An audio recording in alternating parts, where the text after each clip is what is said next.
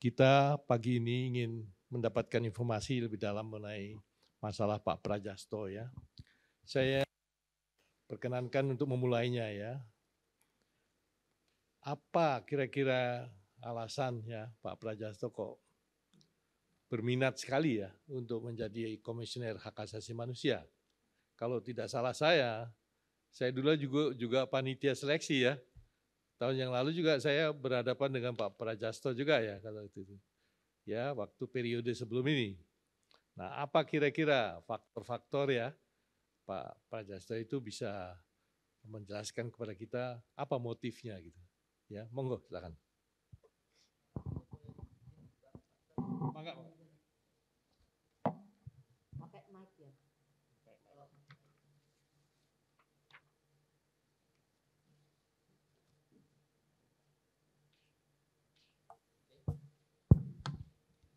Assalamualaikum warahmatullahi wabarakatuh.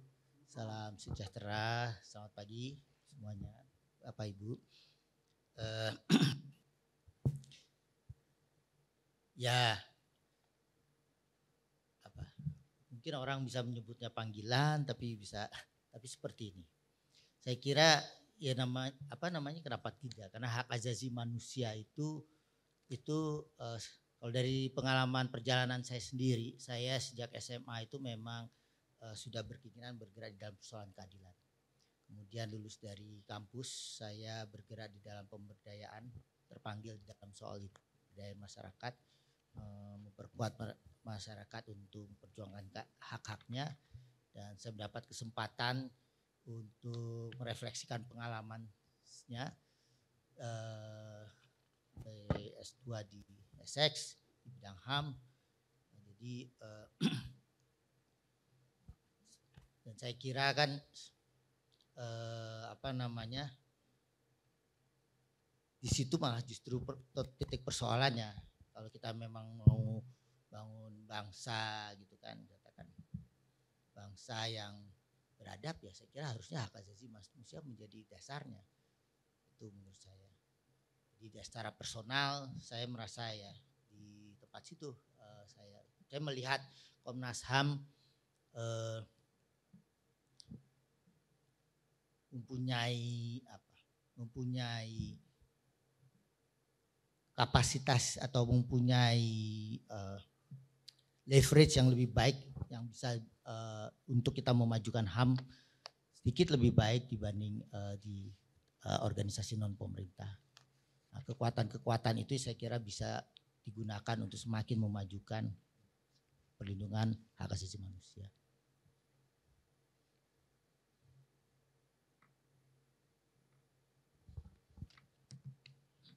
Uh, saya membaca kurikulum vitae, saya membaca kurikulum vitae Anda ya. Anda apa namanya uh, sempat kuliah di luar negeri juga, Essex ya. Jadi saya mungkin Anda sudah familiar juga masalah-masalah mengenai hukum HAM internasional. Ya, Jadi di hukum atau rezim hukum internasional yang disiapkan oleh PBB ya, kemudian dikenal sebagai International Bill of Human Rights, ya, itu menurut pandangan Anda, ya, Apakah hal itu merupakan suatu hal yang perlu ya dilaksanakan oleh masyarakat HAM eh, di Indonesia atau bagaimana pandangan Anda mengenai hukum HAM internasional tersebut? Silakan.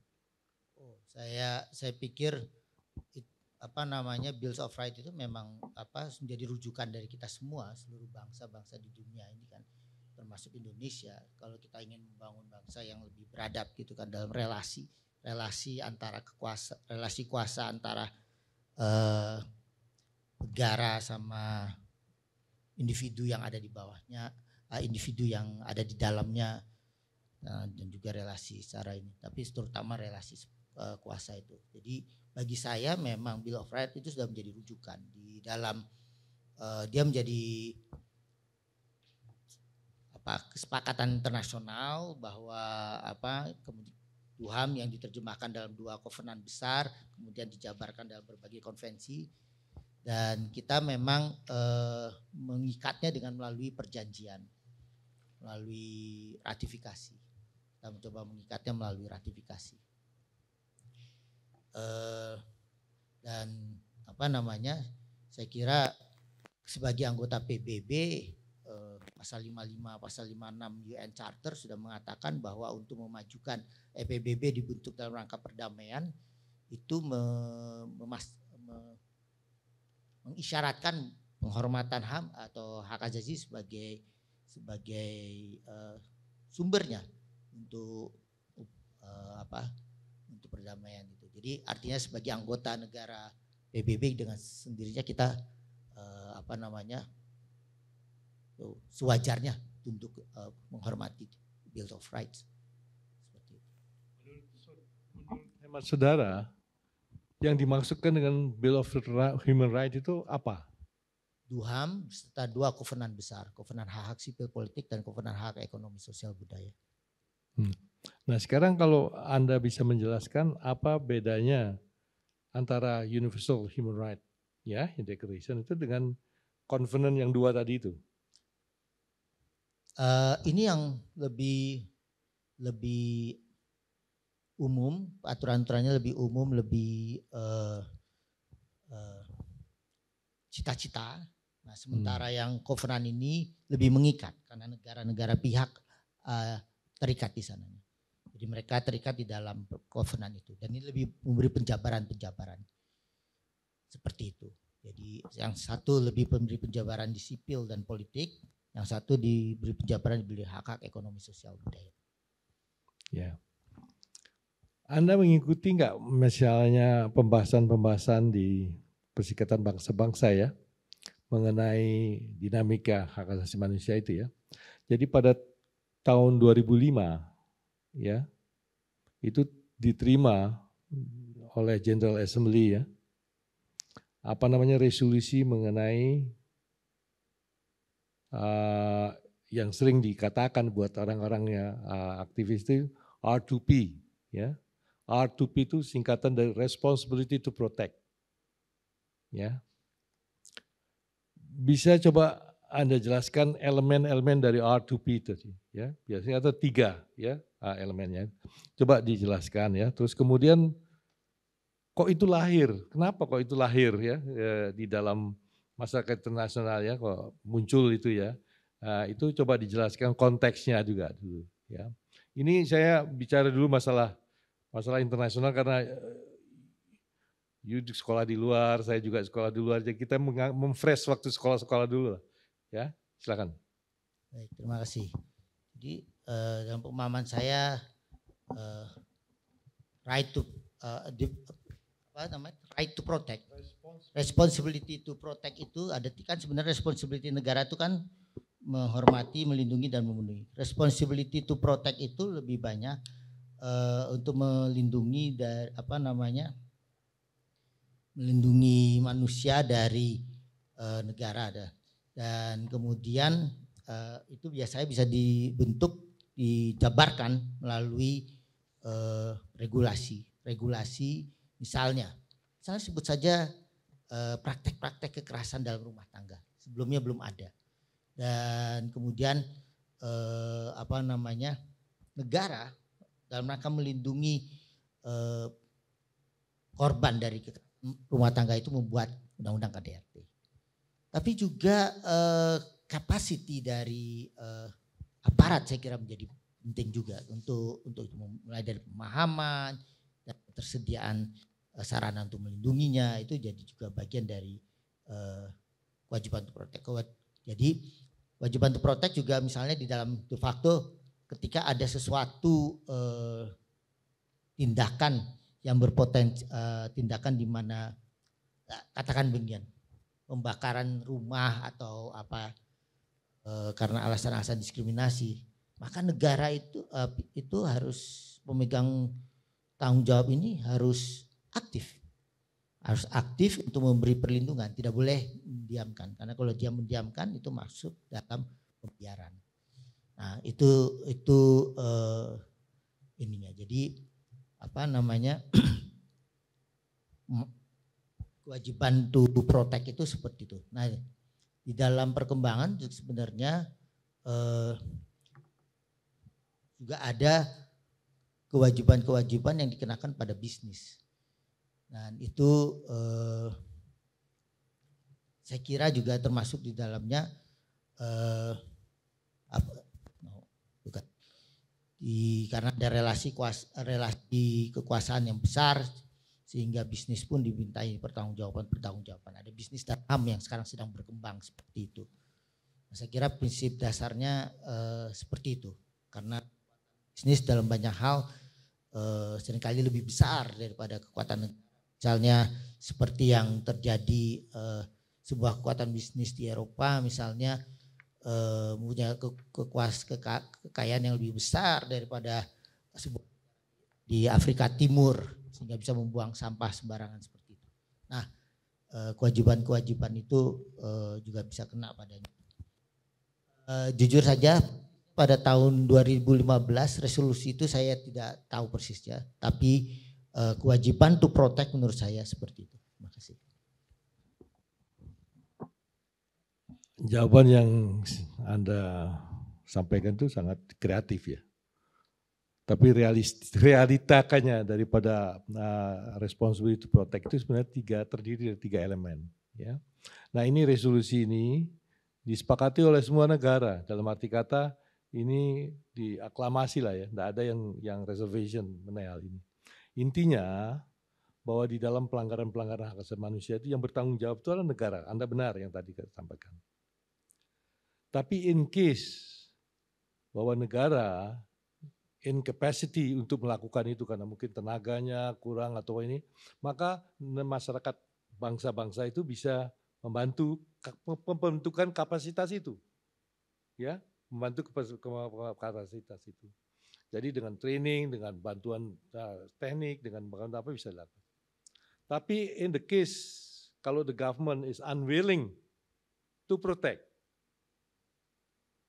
ya maka itu adalah responsibility dari masyarakat internasional untuk melindungi ya apa namanya kasus-kasus pelanggaran hak asasi manusia itu. Jadi ada tiga elemen di situ. Ya. Saya sekarang masuk ke masalah hak asasi manusia dalam negeri, ya. Eh, undang-undang uh, yang mendasari sebenarnya HAM di dalam negeri itu Undang-Undang 39 ya tahun tahun 99 bahwa yang inti di dalam Komnas HAM itu harusnya menjadi lembaga yang mandiri, yang kedudukannya setingkat dengan lembaga negara lainnya, ya di dalam berperan untuk memajukan dan melindungi perlindungan HAM, ya. Bagaimana persepsi Anda atau pandangan Anda mengenai Komnas HAM Indonesia ini? Apakah setara? Apakah lebih kuat atau lebih kurang lebih rendah atau bagaimana menurut ah, apa namanya pandangan Anda mengenai posisi Komnas HAM sekarang ini? Silakan. Pertama mengenai uh, posisi Komnas HAM. Posisi Komnas HAM kalau uh, dalam relasi dengan mana? Kalau dengan tentunya uh, dia adalah uh, setara dengan uh, lembaga negara lainnya, eh, lembaga-lembaga negara. Jadi posisinya setara. Dia dibentuk oleh undang-undang juga. Dan eh, dan apa namanya prinsip kemandirian itu sangat ditentukan oleh anggotanya di mana eh, menurut saya intinya tidak tidak tidak boleh dipengaruhi dicampuri dipengaruhi oleh kekuatan mana pun di dalam pengambilan keputusan, di dalam memberi penilaian seperti itu. Misalnya ada kasus eh, atau juga eh, dalam merencanakan program kerja, tapi eh, tentu bisa eh, bekerja secara sinergis, bisa bekerja secara kolaboratif. Misalnya juga dengan eh, sebut saja dengan lembaga-lembaga HAM sejenis seperti Komnas Perempuan, Komisi Perlindungan Anak Indonesia, kita bisa berkolaborasi. Kemudian eh, apa namanya kalau misalnya dengan kepolisian, misalnya kita bisa sama-sama eh, kerjasama bagaimana meningkatkan kapasitas polisi, misalnya di dalam hal menangkap, di dalam menggunakan senjata atau menggunakan kekuatan. Nah itu kita bisa melakukan hal itu seperti itu. Nah di dalam praktek misalnya termasuk di dalam kasus, tentu kita harus tetap menjaga kemandirian kita, apalagi eh, jika kasus-kasus itu berkaitan dengan eh, kepolisian itu sendiri. Eh, saya, nah, hal yang bisa dilakukan secara konkret eh, apa namanya mungkin bedah kasus itu bisa di, dilakukan dengan tetap menjaga kemandirian tapi tetap punya komunikasi. Anda familiar dengan terminologi pelanggaran HAM berat? Ya, Coba jelaskan apa yang masuk pengertian dari pelanggaran HAM berat. Secara hukum interna hukum HAM internasional itu gross violations of human right itu eh, ceritanya juga panjang. Jadi ketika eh, ketika terjadi banyak sekali kasus-kasus pelanggaran HAM di dalam eh, pemerintahan-pemerintahan otoriter yang meluas atau itu di mana orang di, dibuang ke laut atau itu itu bisa pelanggaran HAM yang berat. Di dalam perkembangannya, pelanggaran berat HAM itu eh, seben, di dalam itu sebenarnya ada proses kriminalisasi terhadap pelaku. Nah, ketika negara pelaku eh negara nanti ini tidak bisa dituntut pertanggungjawaban pidana, maka ada proses kriminalisasi. Nah, kemudian proses kriminalisasi itu diterjemahkan di dalam crimes against humanity yang kemudian dimasukkan di dalam uh, bagian dari jurisdiksi ICC. Nah, crimes against humanity, genosida, hukum perang, dan agresi. Nah, di crimes against humanity dan genosida. Genosida sendiri sebenarnya bisa mengambil dari konvensi uh, genosida. Nah, nah, di dalam di Indonesia yang dimaksud dengan pelanggaran berat HAM itu dua itu, yaitu genosida dan uh, kejahatan kemanusiaan diadop di dalam undang-undang pengadilan HAM seperti itu. Tapi sebenarnya itu adalah disebut gross karena sebenarnya yang punya kemampuan untuk itu adalah sebuah kekuatan yang besar yaitu kekuatan yang seperti negara. Kalau menurut Undang-Undang Nomor 39 ya tahun 1999 ya bahwa Komnas HAM itu ya yang bertalian dengan pelanggaran HAM berat itu ya bisa berjustisia ya, bisa bertindak sebagai apa namanya penyelidik. Tapi Anda melihat menurut media masa kenyataan segala macam bahwa Indonesia itu mengalami kesulitan dalam mengatasi masalah pelanggaran HAM masa lalu. Ya, kita lihat bagaimana hasil-hasil penyelidikan dari Komnas HAM dikembalikan lagi oleh Jaksa Agung ya dikirim lagi ke sana dikembalikan ke sana. Menurut saudara ini mengapa hal ini terjadi dan bagaimana mengatasinya supaya kita ini menyerahkan lap penyelidikan kita dan kemudian ini menjadikan dasar untuk proses yang lebih lanjut gitu. Silakan. Dari segi teknik itu adalah pengumpulan data, pengumpulan bukti-bukti itu menjadi salah satu kesulitan. Eh, banyak kasus kasus pelanggaran yang berat yang masa lalu itu cukup lama dari tahun 65 dan seterusnya. Tapi dari segi lain dari segi politis saya kira adalah kendak politik yang masih uh, belum cukup firm untuk menjalankan hal itu. Nah, uh,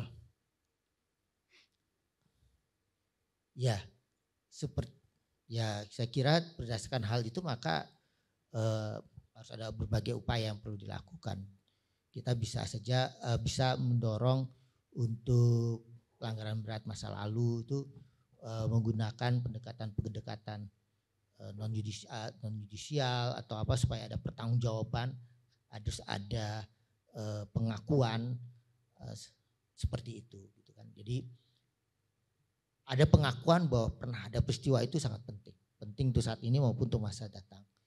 Dan kemudian ada pertanggungjawaban. Untuk pertanggungjawaban itu kan tidak tidak selalu di di Jadi pen, uh, ya uh, kalau di dalam pengetahuan saya di di di Afrika Selatan misalnya kan uh, pelaku bisa uh, sejauh dia mengakui perbuatannya secara detail dan dan tidak ada yang dia tutup-tutupi kemudian diperiksa oleh komisi uh, komisi apa namanya tertentu untuk melihat apakah itu sudah dilakukan dengan betul maka dia bisa uh, mendapat pemaafan seperti itu. Itu kan misalnya salah satu bentuk dari penyelesaian pelanggaran masa lalu non yudisial. Nah, itu itu yang yang yang uh, apa yang mungkin kita bisa pikirkan uh, untuk dilakukan. Tapi bentuk-bentuk mulai saya kira sesuatu yang hal yang konkret itu pengakuan-pengakuan bahwa uh, itu terjadi menurut saya penting dilakukan. Ini waktunya hampir selesai buat saya. Satu pertanyaan terakhir ya. Anda ketahui berita-berita di koran, ya. Komisi Nasional Hak Asasi Manusia setiap hari memberikan laporan mengenai perkembangan penyelidikan kasusnya meninggalnya Brigadir Joshua Huta Barat.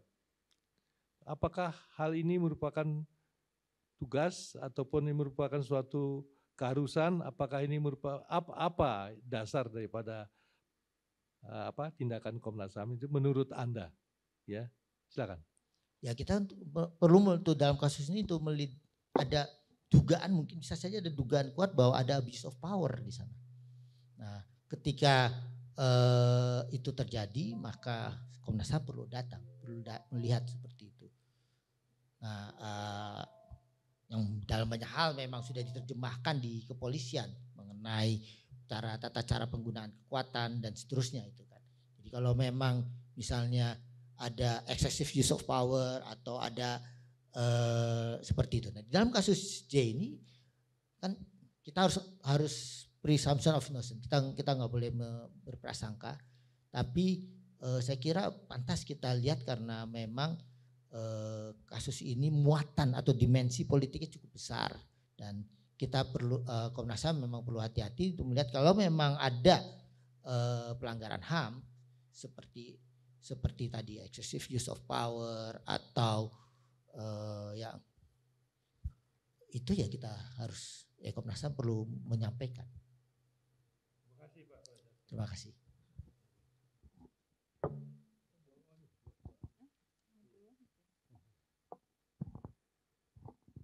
Terima kasih Pak Ketua. Selamat pagi Saudara Anton. Um, saya ingin menindaklanjuti uh, pertanyaannya dari uh, Prof. Makarim.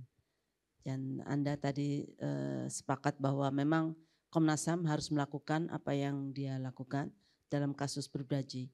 Kira-kira landasan hukumnya apa ya? Kewenangan kita untuk uh, apa? Kita itu siapa? Maaf, kewenangan Komnas HAM. Iya betul. Kewenangan Komnas HAM untuk melakukan uh, pemantauan ya di situ uh, apa namanya perlu uh, untuk dilihat apakah memang terjadi uh, pelanggaran HAM. Undang-undang Undang-Undang HAM tahun 39 tahun 1999. Jadi semua yang dilakukan Komnas HAM selama ini lebih pada dalam kasus ini lebih pada aspek pemantauan ya. Termasuk menyita handphone, mengikuti otopsi itu menurut Anda bagian dari pemantauan? Saya kira bagian dari ya Undang-Undang Nomor 39 Pemantauan. Ya. Bukan penyidikan. Kan di dalamnya ada penyelidikan. Ah? Di, di dalam fungsi itu adalah uh, penyelidikan. Bukan bukan penyidikan undang-undang pengadilan HAM, bukan. Penyelidikan. Bukan di undang-undang pengadilan HAM nomor 20 mm -hmm. itu bukan. Mm -hmm. Uh, tapi uh, bagian undang-undang. Oke, okay. baik. Um, Anda menyampaikan di sini bahwa ada tiga isu utama di Indonesia dalam konteks HAM, yaitu climate change, kemiskinan dan juga uh, teknologi informasi. Anda bisa terangkan kenapa Anda memilih tiga isu itu ya? Uh, saya kira suatu isu yang sekarang dan yang potensial potensial terjadi di masa yang akan datang. Climate change itu uh, akan membawa dampak kalau tidak ada pemberitahuan yang cukup seperti itu akan membawa dampak pada uh, apa namanya pada kemiskinan yaitu pada pada mereka yang paling terpinggir itu mungkin uh, apa namanya bayangan saya mereka bisa akan kehilangan hak atas pangan, mereka bisa kehilangan eh, apa namanya lingkungan hidup yang baik, livelihood seperti itu. Karena eh, seperti sekarang aja data sudah menunjukkan bahwa di di di pantai utara Pulau Jawa itu sudah tergerus. Nah, eh, teknologi informasi saya kira sekarang real itu bisa membawa dampak positif tapi uh, juga membawa dampak negatif mulai dari uh, uh, hoax kemudian uh, hate speech seperti itu. Namun juga dia membawa uh, dampak positif dalam arti kecepatan berkomunikasi juga kemarin Eh, ketika pandemi kita me, apa namanya kesulitan maka eh, kesulitan untuk ber, ber, bertemu teknologi informasi memberi uh, kemungkinan kita untuk berapat untuk bertemu. Dan ini semua nah kalau teknologi informasi ini artinya itu ada hak-hak termasuk persoalan mengenai privasi. Nah hal-hal ini akan ada menjadi persoalan-persoalan human rights. Yang yang berikutnya kemiskinan. Meskipun memang uh, ada tren uh, kemiskinan semakin menurun, tapi saya kira itu masih menjadi persoalan. Oke, terima kasih ya. Jadi tadi alasannya tiga. Yang saya tanyakan adalah Anda mengajukan strategi yang dapat dilakukan oleh Komnas HAM untuk mengatasi masalah tersebut. Tapi kok nggak ada yang berhubungan dengan climate change, dengan IT, dengan kemiskinan. Ya, Anda mengusulkan misalnya membangun budaya HAM, bekerja sinergis atau kolaborasi dengan lembaga independen, kemudian e, melakukan penelitian. E, maksud saya harusnya ada korelasi antara masalah yang menurut Anda dihadapi Indonesia dalam konteks HAM dan strategi yang harus dilakukan oleh Komnas HAM. Apa, apa ada alasan tertentu Anda rumuskan strategi dalam kedua paper Anda ini? Saya kira ini persoalan-persoalan yang ke depan yang harus kita hadapi. Jadi kita uh, sesuatu yang mungkin saja belum banyak dirumuskan, tapi kita harus rumuskan. Misalnya soal uh, perlindungan privacy itu sesuatu yang kita harus ikut terlibat. Uh, enggak, maksud saya begini. Anda kan tadi bicara tentang tiga isu itu ya, yeah. Pak Anton ya. Tapi uh, penanganan tiga isu itu tidak termasuk dalam langkah strategis yang dilakukan oleh Komnas HAM karena bicaranya sangat sangat umum ya, hmm. sangat general. Sedangkan masalah yang Anda ajukan itu sangat spesifik, climate change, kemiskinan, IT. Ya, bagi saya uh, apa namanya? Pertama izinkan saya menyampaikan dulu strategi itu ya. Jadi uh, kita nggak menurut saya banyak hal ini yang yang paling perlu dikedepankan itu kan adalah membangun kebiasaan-kebiasaan HAM supaya menjadi hadir di dalam kehidupan sehari-hari. Itu yang saya maksud dengan budaya HAM. Nah, eh, seperti itu dan kemudian eh, itu nggak bisa sendirian, maka kita harus bekerja sama dengan pihak-pihak yang lain. Dan tentunya kita juga nggak bisa asal asal bicara tanpa bukti harus pakai data. Nah, ketika menanggapi isu-isu yang aktual dan akan kita akan dialami oleh uh, manusia gitulah dengan climate change uh, teknologi informasi saya kira uh, semangat yang sama satu berdasarkan kita ketika kita mengajukan bagaimana menanggapi teknologi informasi melindungi HAM misalnya privacy semangat yang sama kita harus didasarkan pada data misalnya seperti itu ya kan? Ketika kita mengajukan uh, pendapat kita sesuai dengan wewenangnya.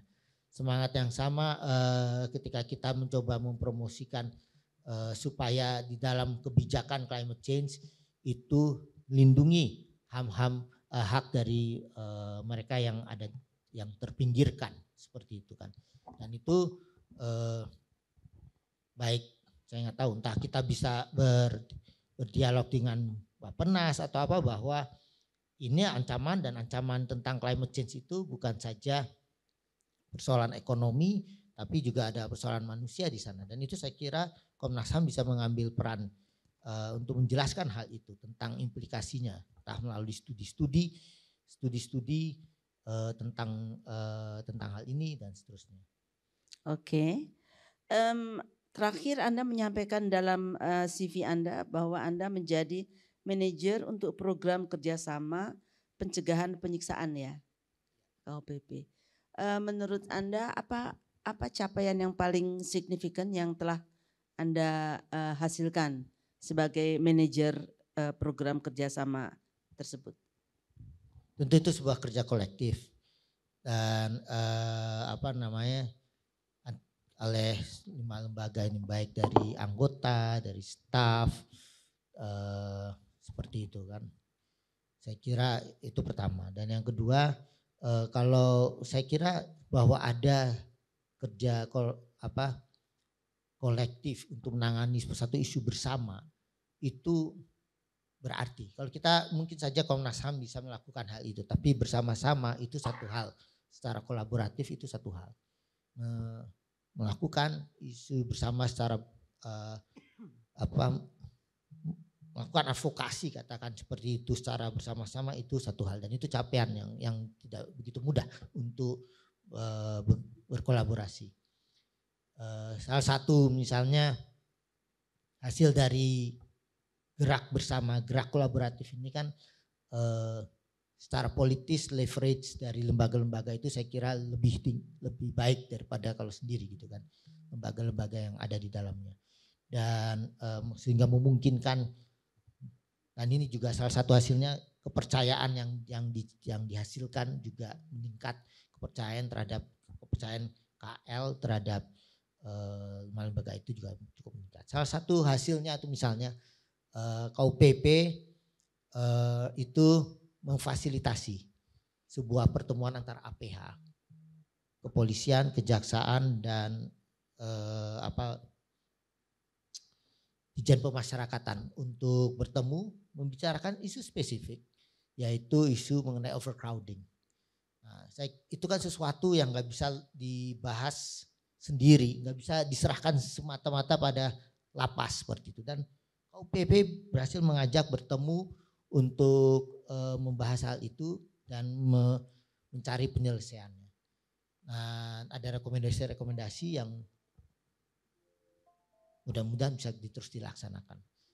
Hal-hal macam itu. Ya, apakah rekomendasi itu dilaksanakan oleh Dijen Pemasyarakatan? Uh, misal ada yang kalau rekomendasi yang kita ada, ada yang dilaksanakan, tapi ada yang masih belum dilaksanakan. Misalnya overcrowding itu kan membutuhkan kerjasama satu saya kira komitmen untuk menggunakan uh, untuk tidak me, menggunakan semata-mata pemenjaraan sebagai jalan satu-satunya untuk penghukuman itu salah, salah satu kebijakan yang baik. Tapi bukan kebijakan Dijen Pemasyarakatan ya? Bukan, itu jadi menjadi Dijen bers, uh, kebijakan bersama. Baik, uh, terima kasih Pak Makarim.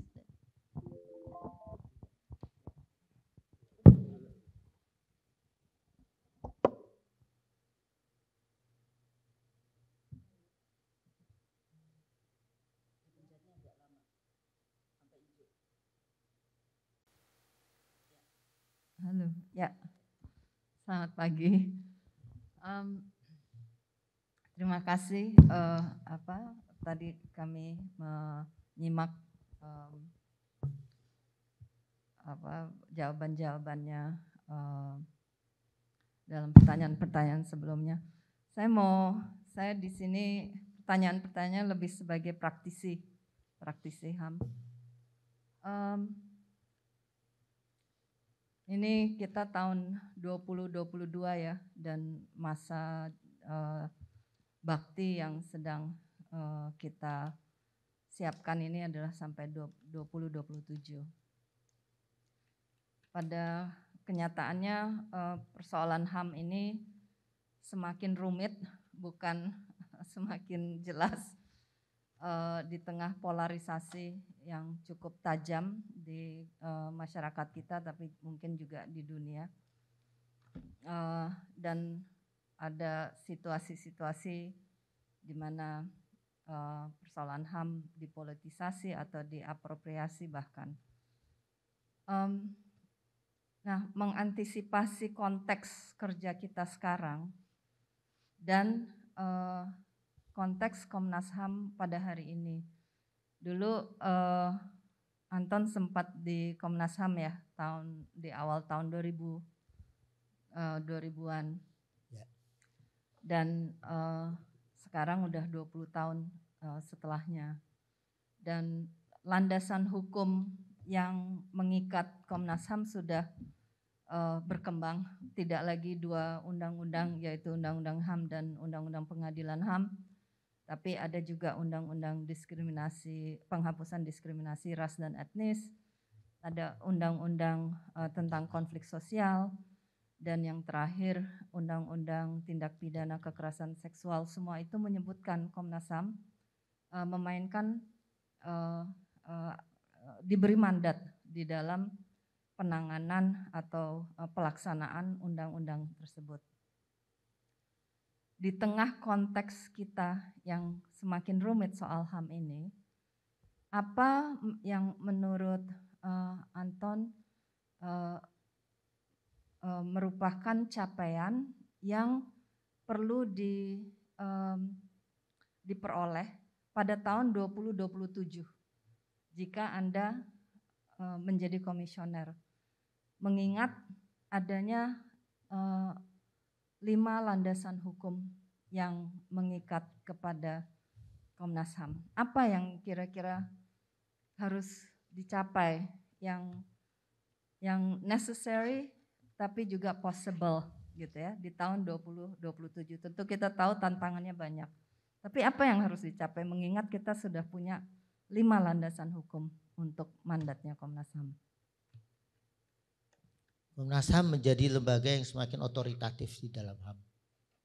Otoritatif itu uh, kalau saya analogikan sederhananya, kalau saya ke dokter dan saya percaya bahwa dia menyatakan yang benar, karena saya mempercaya otoris, otorisasinya.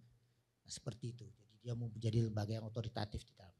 Contoh yang lain adalah ketika Komnas HAM memberi amikus curiae, itu kan adalah salah satu bentuk ekspresi bahwa iya inilah lembaga yang bisa bicara tentang HAM di pengadilan. Hal macam itu. Untuk menjadi lembaga otoritatif apakah itu by definition karena disebutkan di lima undang-undang atau sesuatu yang harus diupayakan? Kalau iya seperti apa? Iya, jadi memang sesuatu oke undang-undang menyebutkan tapi juga begini, karena persis karena undang-undang menyebutkan itu sesungguhnya adalah uh, wewenangnya, tapi apakah sudah seperti seperti itu? Karena kan banyak rekomendasi kan yang uh, yang uh, tidak diikutkan, katakan seperti itu.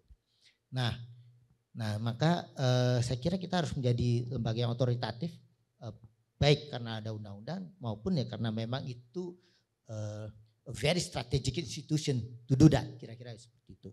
Nah, nah bagaimana caranya? Caranya tentu ke ke dalam ya. Saya kira kita bisa tentu pertama tentu dari anggota kita harus menjaga independensi itu sangat penting karena itu untuk membangun kepercayaan.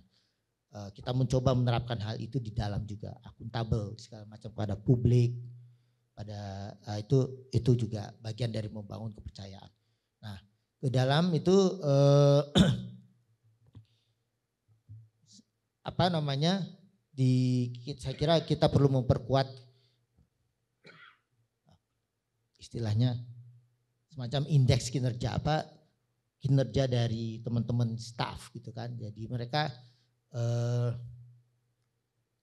misalnya di pemantauan, saya kira kita perlu pun ada juga sekarang ini sebagian besar di dalam pengetahuan saya ada banyak teman-teman staf senior yang juga sudah meninggalkan Komnas HAM. Nah ini perlu misalnya di, di pemantauan diberi kapasitas untuk paling tidak mengetahui tentang teknik-teknik pemantauan atau uh, investigasi seperti itu. Uh, di pendidikan sampai sekarang teman-teman staf untuk uh, uh, pendidikan itu nggak nggak nggak ada indeksnya, nggak nggak diakui mereka nggak nggak diketahui di dalam kerangka hukum nasional administrasi negara ini enggak. Nah itu hal macam itu mereka mendapat pengakuan. Bagaimana juga dengan mediator, ya kan mediator-mediator ham, ya itu kan uh, agak beda harusnya dengan mediator karena human rights prevail, ya kan seperti itu. Nah hal macam itu saya kira salah satu ya upaya untuk peningkatan yang perlu dilakukan. Uh, kepercayaan yang lain yang perlu kita lakukan tentunya seperti tadi uh, itu yang disebut dengan maksud saya dengan bekerja sinergi dan, dan kolaboratif karena kita memang kalau kita bekerja sendirian mungkin akan akan lebih uh, akan ya bisa tapi tidak sepowerful lah katakan demikian kalau kita kerja bareng-bareng gitu kan. Maka bersinergi dengan masyarakat sipil, dengan perguruan tinggi sehingga apa yang dihasilkan katakanlah se, ah ini lagi membicarakan SNP yang dihasilkan itu bukan sesuatu yang ujuk-ujuk dari sana tapi ada proses dialog, ada proses uh, uji akademik seperti itu kan. Itu dari dengan dengan civil society karena ada pengalaman uji praktis tentang pengalaman-pengalaman seperti itu. Nah, uh, dan itu juga bisa dilakukan di, di yang yang lain. Nah, uh, itu yang mungkin kita lakukan untuk dapat memperkuat uh, apa namanya lembaga ini. Terakhir ini uh, apa? Tinggal dua setengah menit. Um, uh, Anton tahu fungsi-fungsinya Komnas Ham ya ada uh, dan dulu sempat menjadi kepala biro uh, penelitian dan pengkajian. Nanti jika seandainya Anda terpilih, fungsi apa yang akan jadi uh, fokus prioritas uh, Anton dan apa yang mau dicapai lewat itu?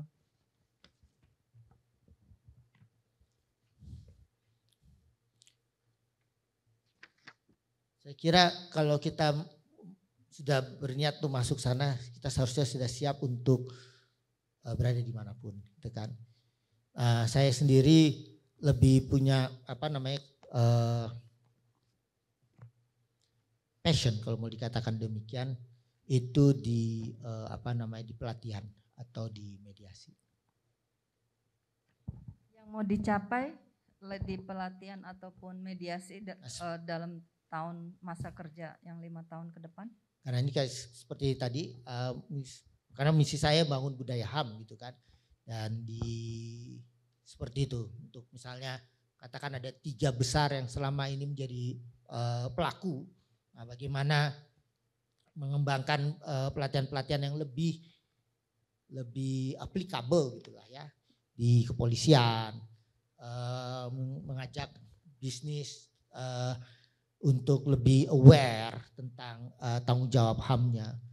Terus kemudian Pemda itu kan Pemda itu dengan segala hormat tidak tidak sedikit uh, persoalannya adalah persoalan malaria tapi kebijakannya kan kebijakan yang lari yang lain. Jadi membangun tentang bagaimana pentingnya HAM itu menjadi ukuran di dalam membangun kebijakan dan melaksanakan itu. Nah, macam itu.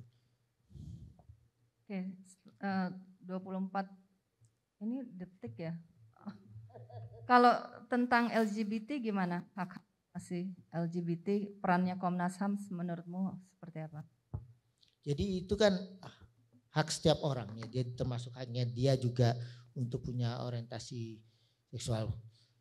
Nah apa namanya ya tentunya harus di, dijamin, harus dilindungi hak-hak itu harusnya uh, seperti itu. Jadi dia mempunyai hak itu ya kita lindungi. Ketika ada persoalan ya kita apa namanya kita bela sebagai hak yang dimiliki oleh setiap manusia.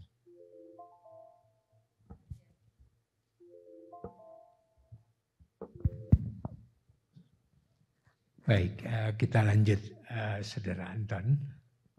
Jadi uh, saya juga sudah mendengarkan tadi berbagai jawaban Anda. Tapi sekarang kita mungkin lebih menyorot pada diri Anda ya sekarang ya. Anda selama ini memang capable sebagai seorang peneliti. Banyak penelitian yang sudah saya lihat sudah banyak sekali hal yang Anda lakukan kaitan dengan penelitian. Tapi kita tahu uh, ya posisi sebagai komisioner HAM ini kadang-kadang dia harus jadi fighter gitu. Kira-kira jadi petarung atau semacam itu untuk membuat terobosan-terobosan. Kira-kira bagaimana Anda menjembatani hal ini ya? Dari uh, katakanlah passion Anda sebagai peneliti selama ini, kemudian memang positioning sebagai komisioner HAM yang kadang-kadang harus membuat terobosan-terobosan. Kira-kira apa yang Anda bisa lakukan sebetulnya untuk uh, menjembatani hal ini? Karena ini penting, Anda udah lama di dunia penelitian, tapi tuntutannya adalah sebagai komunis, komisioner HAM adalah sebagai fighter. Kira-kira uh, apa yang akan Anda lakukan untuk itu? Sebelum saya bergabung di Komnas HAM, saya di Institut Sosial Yogyakarta, saya adalah pembela uh, untuk banyak isu-isu HAM. Masyarakat miskin. Uh, kalau itu menurut saya, apa ya refleksi dari penelitian itu adalah kita bekerja dengan data, bekerja dengan fakta, bukan lagi bekerja hanya dengan omongan gitu kan. Nah, seperti itu, itu yang saya kira yang uh, membedakan mungkin yang mempengaruhi proses yang bisa uh, mempengaruhi mewarnai saya dari proses penelitian yang yang tadi kalau pertanyaannya menengahi apa jadi itu adalah bekerja dengan data kita harus bekerja dengan fakta seperti itu. Dan sekarang itu dunianya uh, lain saya kira dengan pada zaman yang serba tertutup gitu kan. Dan ini kita harus kuat-kuatan data kuat, kuat bukan hanya argumen tapi kuatan fakta kuatan data. Itu. Oke, okay, uh, eh, iya artinya data dan fakta memang penting. Itu justru uh, yang kita dalami lah di dalam pengetahuan selama ini. Seperti juga kita tahu data dan fakta sudah ya katakanlah untuk pelanggaran HAM berat yang sekarang masih tertunda-tunda itu sudah uh, katakanlah juga sudah cukup data-datanya. Tapi kan terobosan harus dilakukan di sini. Kira-kira gitu karena posisi komisioner HAM ini kan posisi yang sekarang kita lihat juga semakin penting di uh, di dalam kaitan dengan ya katakanlah penghormatan terhadap hak asasi manusia atau juga yang lainnya. Jadi kira-kira uh, apa yang bisa dilakukan paling tidak kalau kita lihat dengan kasus-kasus uh, 12 kasus pelanggaran HAM berat ini sekarang. Menurut Anda apa yang bisa Anda lakukan? sebetulnya nanti ke depan.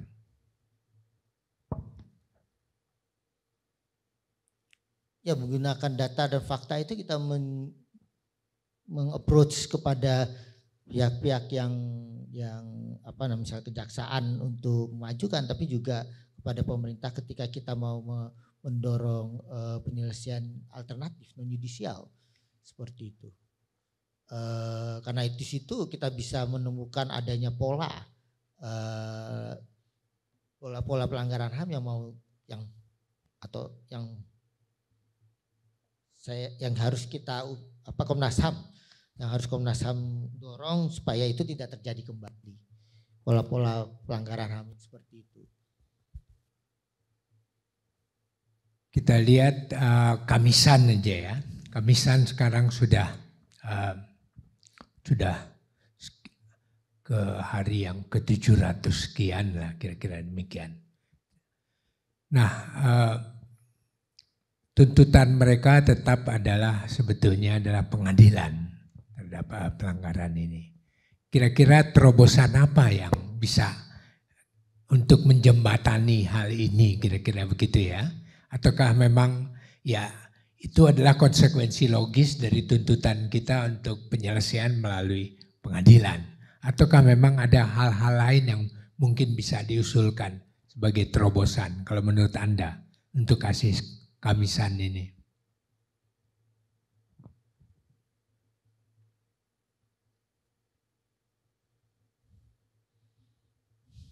Ya ini memang bukan masalah ringan karena ada tuntutan korban yang yang apa namanya uh, seperti itu gitu kan. Uh, tapi mungkin ada pendekatannya agak berbeda kalau kita seandainya kita mencoba mendekatinya secara bertahap. Uh, artinya misalnya mulai dari ada pengakuan karena realitas uh, apa namanya realitas politik itu bisa berubah. Ya kan?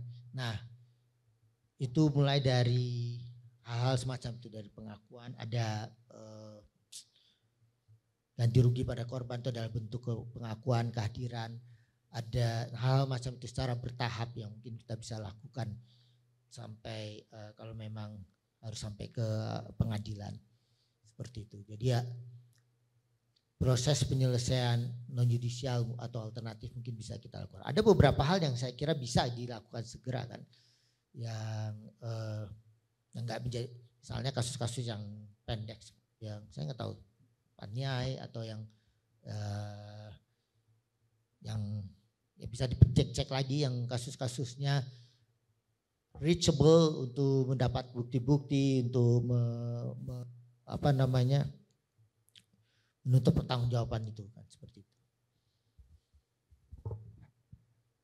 Tidak dibiarkan saja ya. Jadi harus ada satu ini karena kita tahu kan pembiaran juga adalah kriminal. Kira-kira begitu ya. ya.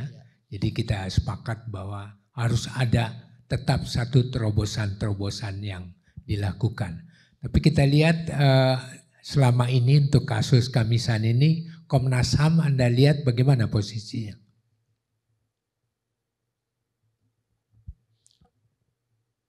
Dalam pengetahuan terbatas saya, eh, Komnas itu melakukan berbagai upaya untuk berkomunikasi dengan pihak pemerintah, dengan KSP dan seterusnya untuk mendorong adanya pertanggungjawaban seperti itu. Uh, ya, itu yang saya ketahui. Ya, saya ingat ada suatu pertemuan kalau nggak salah di sebuah di hotel dekat apa patung tak Pak Tani kalau salah di sana untuk untuk mendiskusikan mengenai pelanggaran masa lalu. Dan uh, seperti ini itu Komnas HAM uh, terlibat. Dan uh, Komnas HAM tidak sudah melakukan yang jelas Komnas HAM sudah banyak melakukan uh, penyelidikan soal-soal ini dan sudah hasilnya sudah diberikan ke kejaksaan dan kemudian dibalikin seperti itu. Dan argumen yang saya ketahui itu adalah uh, uh, kurangnya data kurangnya alat bukti yang yang kemudian menjadi uh, hambatan dari pihak kejaksaan untuk melakukan uh, penuntutan legal. Oke, uh, sekira yang terakhir yang ingin saya tanyakan pada Anda, uh, setelah beberapa kali ya proses yang Anda lakukan untuk komisioner ini, tapi pada tahap sekarang ini Anda sudah merasa sudah siap untuk menjadi komisioner HAM, untuk juga uh, melakukan beberapa kegiatan karena kita lihat kondisi ya katakanlah lima tahun terakhir ini sudah semakin membaik sebetulnya. Masyarakat berharap juga Komnas HAM akan lebih baik lagi pada putaran berikutnya. Anda siap untuk itu kalau menurut Anda? Iya, saya siap. Iya, saya siap.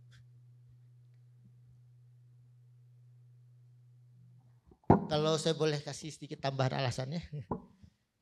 uh, saya kira saya cukup persisten di dalam uh, pemajuan HAM. Uh, saya bekerja dengan sistematis.